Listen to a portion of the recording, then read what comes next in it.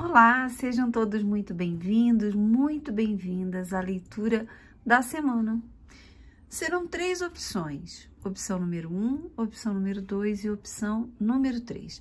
Eu vou usar também três outros oráculos para acompanhar, complementar as leituras, tá bom? Essa tiragem, obviamente, já foi gravada, então já aconteceu. O que você vai fazer agora é se conectar com o conteúdo que saiu, aquilo que já foi sorteado. Respire fundo, feche seus olhos, treine esse movimento de olhar para dentro de si, para ouvir a voz da intuição, permitindo que a voz da intuição não é mental, ela não lê símbolos. A voz da intuição, ela vem como uma entrega do alto para as nossas percepções. Então, simplesmente aquiete a sua mente e o seu coração. Feche os olhos. Você não está perdendo tempo, você está ganhando tempo para se conectar com a resposta que pode ser a mais adequada para você. Se de repente a, a, opção que você escolheu não tem nada a ver, dê uma olhada nas outras duas. Ou de repente, essa semana não, não tem uma mensagem específica do tarô nesse canal é, que vá contemplar a sua vida, tá bom? Opção número 1, um, opção número 2 e opção número 3. Vamos lá? Para quem escolheu a opção número 1, um, vamos ver o que o tarô traz de percepção, de dica, de orientação para a sua semana.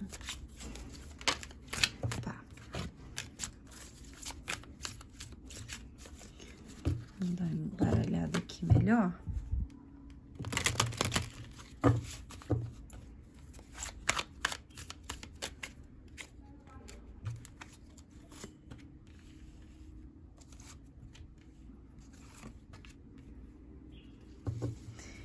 Vamos lá para os oráculos. Um oráculo para a sua vida financeira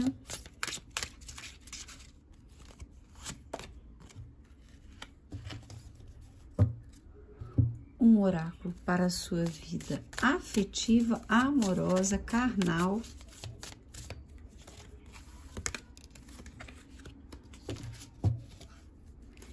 E um oráculo para a sua consciência. Essa aqui. Então vamos lá. O que, que essa semana pode trazer para você?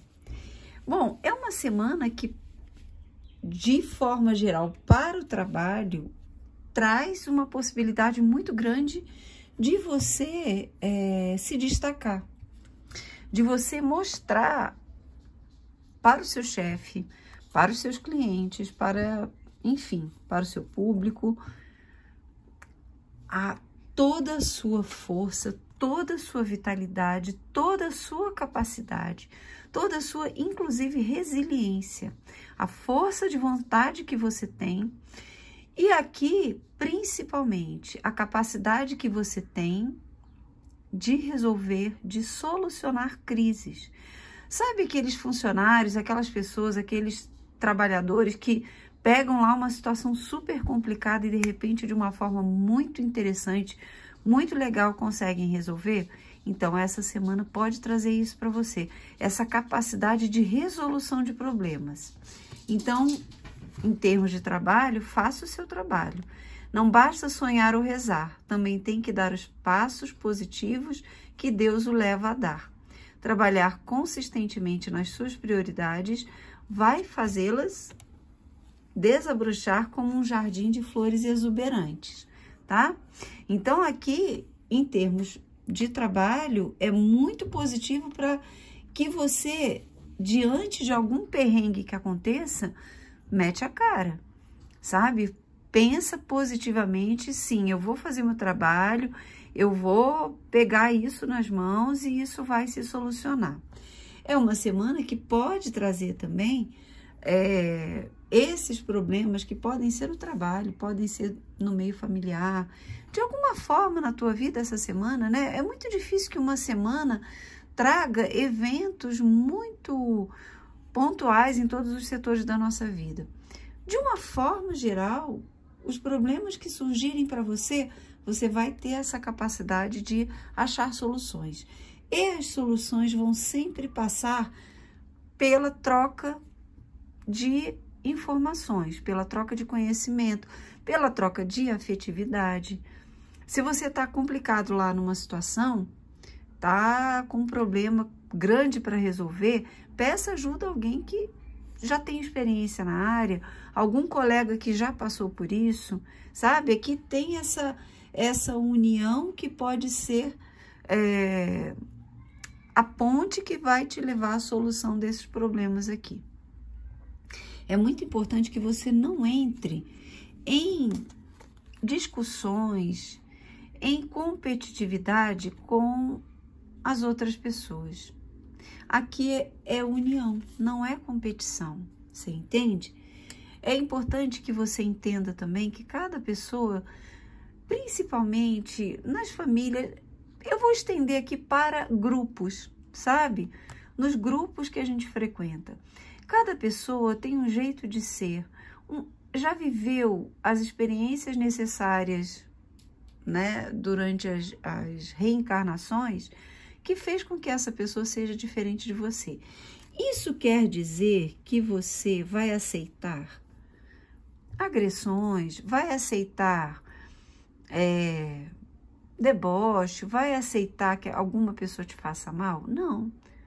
Você vai estar firme e a postos para se defender se for o caso, para brigar por aquilo que você quer se for o caso. Mas com esse entendimento de que é, os grupos são heterogêneos, são diferentes, mas nos grupos sempre tem alguém que se afiniza conosco. Então, ao invés de bater boca, brigar, discutir, entrar em, em picuinha com quem não se afiniza, busque seus pares, busque as pessoas com quem você se afiniza. Isso serve para todos os setores da tua vida essa semana. Guarde isso. Ainda que você encontre diferenças de um lado, do outro você pode encontrar afinidade, harmonia e força.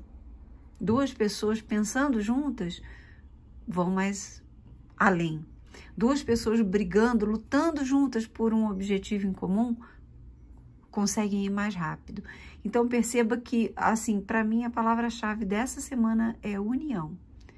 É você entender essa tua capacidade de resolução de problemas a partir da união tá? No, em termos afetivos, amorosos, é seguro para você amar. Abre o teu coração para dar e receber energia suprema. Olha que lindo. Então, essa carta fala para que você busque essa, digamos assim, confiança e essa segurança, inclusive para lutar pelo seu relacionamento. Se a sua família está abalada, o seu núcleo, né? Com o seu esposo, sua esposa, seus filhos, se, se o seu núcleo está abalado por algum motivo, esforce-se pela união, esforce-se para encontrar os pontos em comum, aquilo que une, não aquilo que separa. É, é muito curioso que as pessoas acham que é, vibrando na separatividade, elas, na raiva, né, na, na implicância, na discussão, enfim, na crítica, essa vibração é só direcionada para o externo.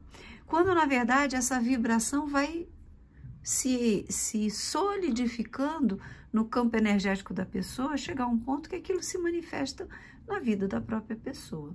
Então, aqui fala para diminuir um pouquinho o ímpeto de discutir, de brigar, de sabe? De entrar em conflito. Entender que se você tem inseguranças no teu relacionamento afetivo, amoroso, é importante que você entenda que abrindo o coração para dar e receber, você abre um canal, né? E aí você fala, ah, Fernanda, mas eu abro o canal e não recebo nada de volta. Então, repense por que, que isso está acontecendo na sua relação. Se você não tem ninguém, pode ser que alguém se aproxime de você, você esteja vibrando nesse medo e as oportunidades passam. Perceba, perceba que é seguro amar. Por que, que é seguro amar? Não é porque eu vou ficar na dependência somente daquilo que o outro vai me dar. Aqui fala de dar e receber. Então, se eu amo, se eu dou e não recebo, não é questão de que é inseguro, é questão de que talvez não seja o meu lugar. É questão de que talvez aquela porta está fechada porque não é a minha porta, entende? E aqui, olha, o som do universo.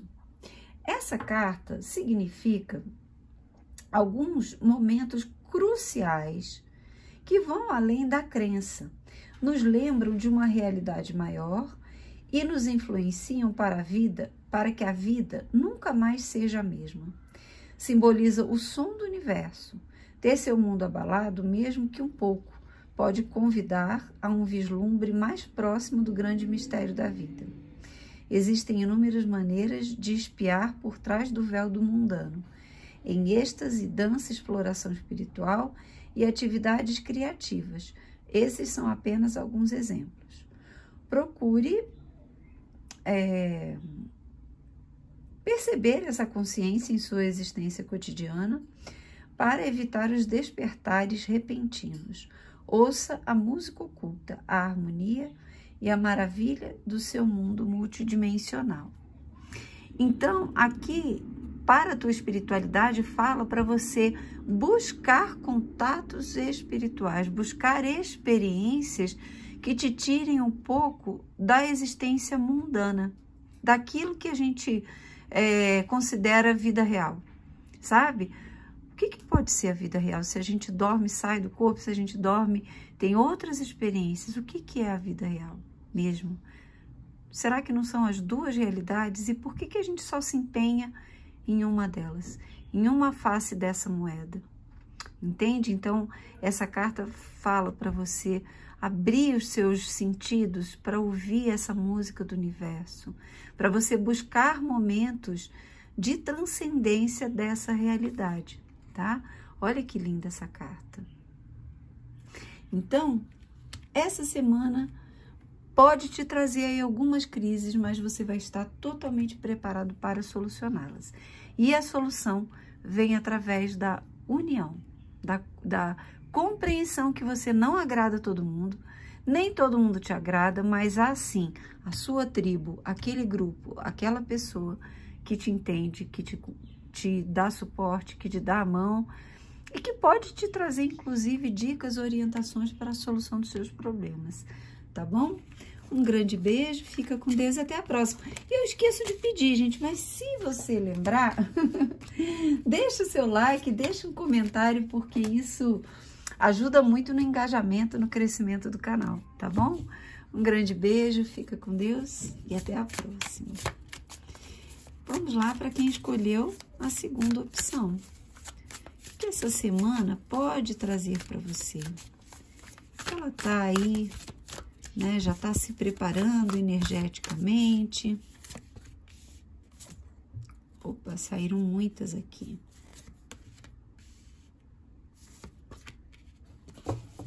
Vamos lá.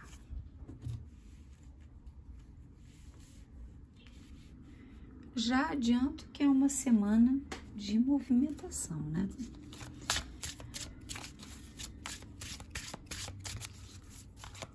Vamos ver a questão profissional, financeira, o que, que esse oráculo tem a dizer. Engraçado que era bem quase uma complementação da primeira tiragem. Que engraçado isso.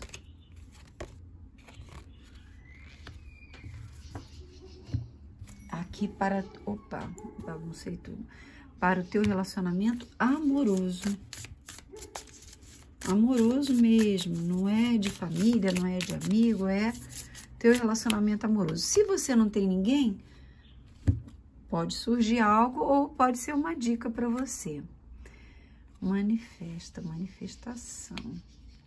Então vamos lá, olha, aqui, essa semana já traz uma necessidade de que você tenha muita confiança no seu taco, em quem você é, para que você se movimente, para que você busque algo que você deseja, algo que está nos teus planos, nos teus sonhos, ou algum movimento que vai te liberar de um perigo, de uma situação difícil, de uma situação desgastante, de uma situação tenebrosa.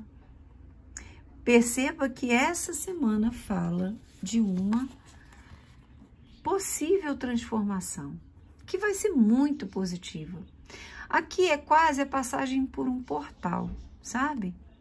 Mas é algo pensado, algo intencional, algo que talvez você já venha se planejando para fazer, mas ainda não teve coragem.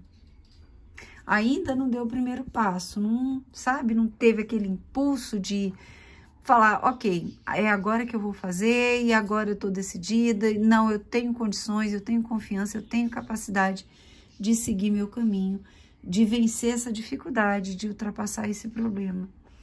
É uma semana que traz para você essa possibilidade, mas vai depender de você o primeiro passo, esse impulso, essa vontade. Essa carta fala muito, muito aqui no negativo de falta de amor próprio, de você estar se consumindo em dúvidas, em questionamentos, de você estar, tá, sabe, meu Deus, faço ou não faço, vou ou não vou, devo ou não devo. Então, perceba-se de alguma forma, a decisão já não foi tomada no teu coração.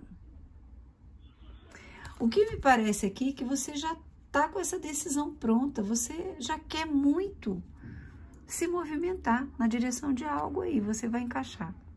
Porém, você ainda não teve a, a autoconfiança necessária para perceber que vai conseguir bancar a sua decisão. Toda decisão que a gente toma, ela nos obriga a abrir mão de algo. Então, para seguir para a direita, eu tenho que abrir mão da esquerda.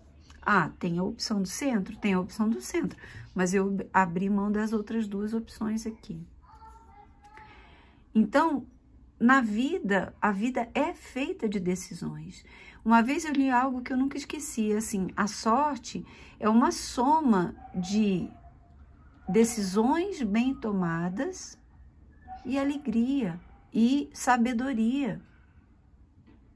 Então a gente tem aquela força interior, a gente tem uma sabedoria que é conquistada, é para ser conquistada e a partir disso eu tomo decisões acertadas na vida. Quantas decisões a gente já tomou lá no passado que nos foram prejudiciais? Então a sabedoria é, é quase que uma obrigação nossa correr atrás disso. E as pessoas acham que isso é bom. Ah, não, quando eu for velho, velha, quando eu estiver aposentado, eu vou correr atrás disso. A vida já transcorreu em inúmeras decisões que talvez você tomou e que foram prejudiciais para você ou que serão. Então perceba, aqui fala de uma de uma sabedoria, de um discernimento que você já tem, já sabe onde quer chegar, já sabe, já se planejou até, mas ainda está cheio de dúvidas em relação a você, a você. É possível também, lembrando que é um jogo para muita gente, que tem alguma pessoa que está pilhando você no negativo, né? E aí você vai avaliar. E aqui a carta da morte, falando desse, dessa, isso aqui é uma fênix, né? Que renasce das cinzas. Então, aqui fala dessa desses finais que geram uma transformação e que geram liberdade. Que geram para você um que bom que eu fiz, que bom que eu tive coragem. Lembrando, nunca, jamais, eu vou fazer uma plaquinha e vou levantar aqui.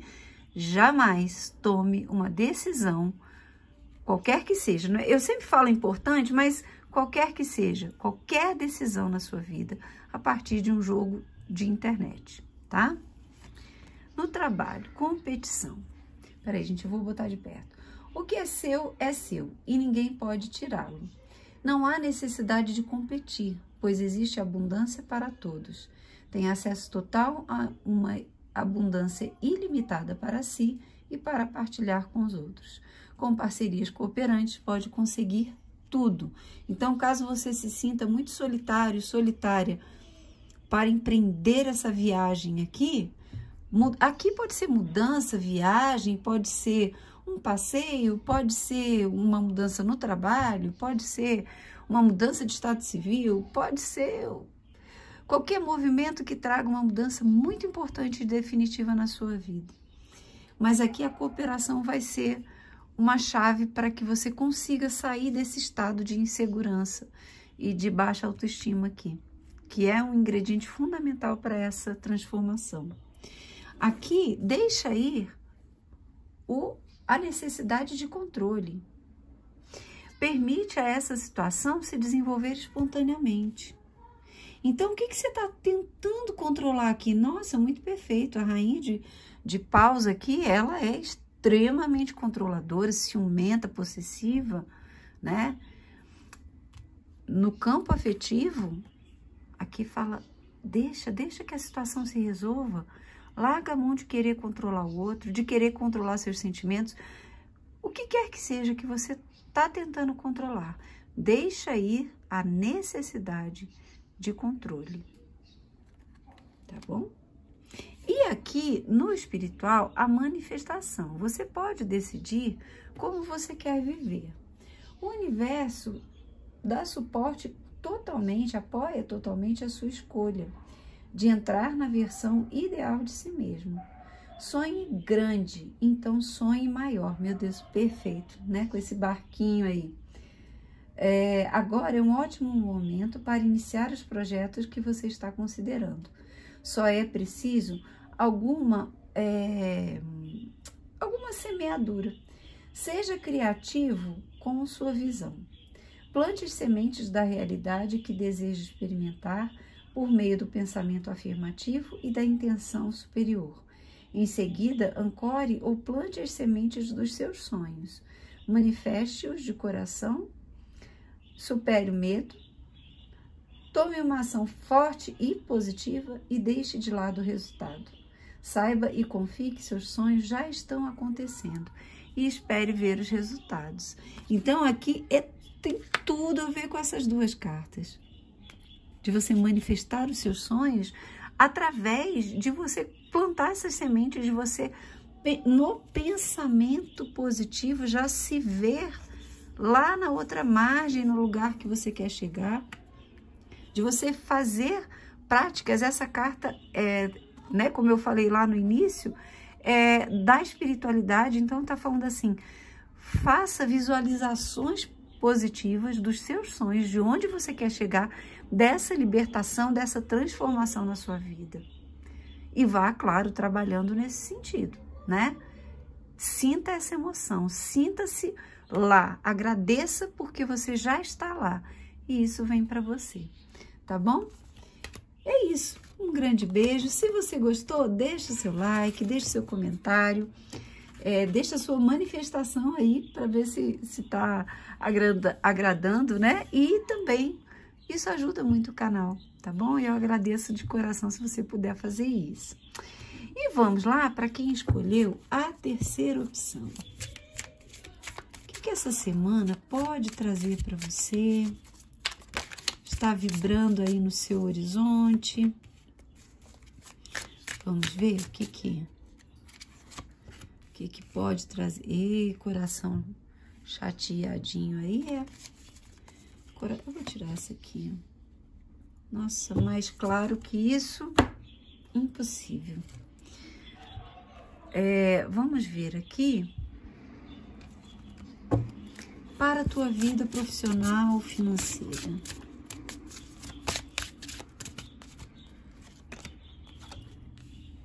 Liberte a culpa. Para a vida amorosa.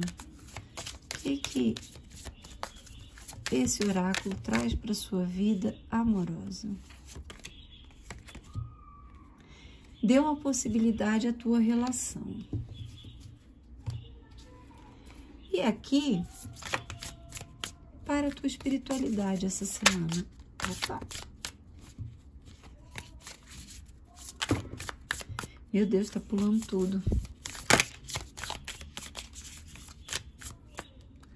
tirar essa aqui.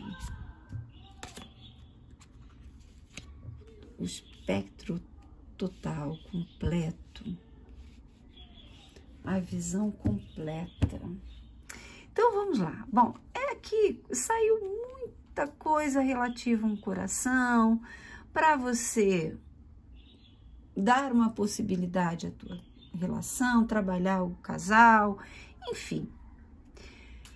Esse jogo está falando que talvez o teu coração esteja muito amargurado, triste, chateado por algum problema que teve com o teu amor, com o teu love. Se você não tem ninguém, pode ser que você esteja se sentindo completamente cheia de culpa, cheia de remorso, cheia de tristeza, sentimento de abandono, sentimento de rejeição, né? Tem aqui um excesso de emoção. A tua mente não está conseguindo processar algum tipo de perda, alguma palavra que foi dita, alguma briga que vocês tiveram, ou se você está sozinho, alguma, algum pensamento recorrente de menos-valia, algum é, pensamento de baixa autoestima, sabe? De ficar olhando só para aquele defeitinho que você tem lá no seu corpo e esquecer todo o resto de achar que, que é o corpo que determina quem fica ou não na sua vida. Gente, né? Não. Tem muito mais. O corpo atrai num primeiro momento, mas é tão pouco diante da complexidade que é um relacionamento. Se o relacionamento é baseado só no corpo, é óbvio, é óbvio que cedo ou tarde ele vai acabar, porque cedo ou tarde o interesse vai para outro corpo porque não, não criou raízes, não tem profundidade, não tem sentido, não tem significado. É baseado nos instintos e instintos não se apegam. Instintos não se não criam raízes, podem criar vícios, mas não raízes profundas com seiva que alimenta a relação. Então aqui a tua cabeça está sendo teu pior inimigo nesse momento, tá? Tá criando aí um, um, emocional frágil destruído, que está caindo possivelmente no vitimismo, que está entrando numa, num looping de autoacusação ou de acusação ao outro. Porque o outro falou, porque o outro fez, porque o outro pisou na bola. E sim, pode ser que tenha feito isso tudo mesmo. Mas é importante aqui, essa carta fala de avaliação mental. Todo mundo só foca no coração, mas a questão é espadas, é avaliação mental.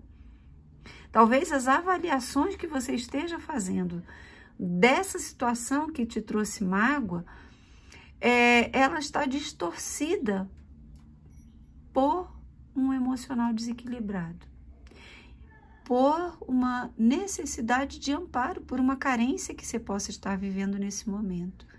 E aí, é importante aqui que você avalie se essa relação é bacana, se essa relação é boa, se vocês se divertem juntos, se há afinidade, se há uma troca saudável. Se você é um no meio de todos, se você mantém a sua individualidade no meio da relação, ou aqui pode ser também para algumas pessoas, né, uma leitura genérica, ela vai para muitos aspectos. Que houve um término e você está só na lamentação quando você tem pessoas que estão de olho em você, te chamando para sair e você está se negando né? Essa carta fala aqui em termos de relacionamento afetivo para você trabalhar com, com a relação, com o casal, trabalhar vocês dois, vocês duas, enfim, a relação. Dê uma possibilidade a essa relação, dê um, uma chance a mais, você acha que cabe? Aí aí você que vai avaliar. Olha lá, isso aqui é uma tiragem geral, não é para você tomar decisão a partir daqui, é para você se analisar, perceber, fazer essa essa avaliação aí, né? A gente aqui vê que há uma possibilidade, 3 mais 3, 6, os enamorados, há uma possibilidade muito grande de você encontrar, vocês encontrarem aquele obstáculo que às vezes parece gigantesco entre vocês e que não é tanto assim, tá? Não, mas a questão aqui não é sentimental. Então, é uma semana que pede para que você coloque na vida todo o teu ar seduzente. coloque na vida fala assim: tô chegando, cheguei. Entendeu? Cheguei para seduzir. E seduzir não quer dizer manipular. Seduzir não quer, engan não quer dizer enganar. Seduzir quer dizer que você se ama tanto, que você não permite que esses pensamentos negativos fiquem rondando a sua cabeça e que você olhe que você é uma pessoa bacana, cheia de amor para dar, carinhosa, criativa, cheia de dons artísticos, talvez, uma pessoa amorosa, uma pessoa prestativa, generosa e que às vezes está lá, sabe, se deixando levar por esses pensamentos. Vai para a vida, vai se divertir, faz uma semana feliz. Essa semana acho que tem feriado? Acho que tem. Então, vai ser feliz, vai se divertir e vai não no sentido de seduzir pela sedução, no sentido de se achar uma pessoa que vale a pena, uma pessoa bacana, uma pessoa interessante, porque todos somos. Quando nós saímos do vitimismo, quando nós saímos da crítica, quando nós saímos do auto-isolamento, quando nós saímos das mágoas, nós nos tornamos brilhantes, tá bom? O que que fala aqui em termos financeiros? Liberte a culpa. Quando permite que a luz brilhe, que a sua luz brilhe, inspira os outros. Perdoe-se por aquilo que acha que fez ou não fez e confie que Deus o ama incondicionalmente, tal como é. Aprenda e cresça com os erros do passado, em vez de se recriminar por eles. Pode ser aqui também, no trabalho, né? Uma questão de trabalho que tá te amargurando, que você tá assim, é, chateado, chateada consigo mesmo e aquilo tá remoendo dentro de você. Vá lá, peça desculpas. Chame para tomar um café, chame para tomar um suco, um sorvete, um jantar a quem você feriu ou algum erro que você cometeu. Ofereça o seu melhor. Não tem coisa assim que pior, tem muitas coisas piores, mas tem uma coisa que eu acho muito feio no ser humano e eu me policio para não ser essa pessoa, que é o seguinte: a pessoa comete um erro, a pessoa pisa na bola, a pessoa faz uma bobagem e ela não aceita, não admite, não reconhece que fez a bobagem e ainda se coloca numa posição arrogante, numa posição superior, numa posição agressiva e ainda culpa os outros. Isso é muito feio, é muito feio. Então aqui se você está carregando alguma culpa de alguma bobagem que você fez no trabalho, peça desculpas. Isso, isso, é ser nobre, isso é ser bacana, isso é ser maduro.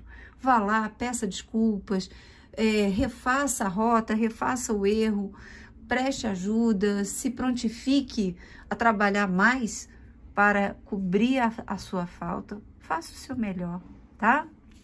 Aqui é importante a alegria do todo. E aqui o espectro completo, né? A visão completa. Saia da mentalidade de preto e branco, de bem e mal e honre todo o espectro da vida. Isso é conselho espiritual, da espiritualidade, né? Para o teu campo espiritual essa semana. É, honre todo o espectro da vida e veja através de novos olhos. Quando julgamos algo, criamos uma história em torno disso. E muitas vezes essas histórias são limitantes. Ao longo da vida, reunimos inconscientemente muitas dessas histórias. Cria um espaço sem história para curas milagrosas e cristalização de novos caminhos. Este espaço nos capacita a conhecer nossa verdade e ser tudo o que somos. Abrace a criação em todas as suas cores, incluindo as partes cruas, lamacentas e sombrias de uma situação para determinar se suas histórias estão limitando sua perspectiva. Deixe o total dos desafios que você superou alimentar novos brotos e flores. Olha que legal isso. Tem muito a ver aqui, né? De você permitir essa cura. Permitir que caminhos né, muito endurecidos, enrijecidos, mágoas, questões cristalizadas, até essa sensação de menos-valia que eu falei aqui, de achar sempre que é culpado de tudo, deixa isso ir. Abre espaço. Olhe toda a situação de cima. Nós, a, a, a expansão de consciência é a capacidade de você olhar além. Quando a gente olha assim, só ali na, na frente, eu só vejo isso aqui. Todo o meu campinho de ação é esse.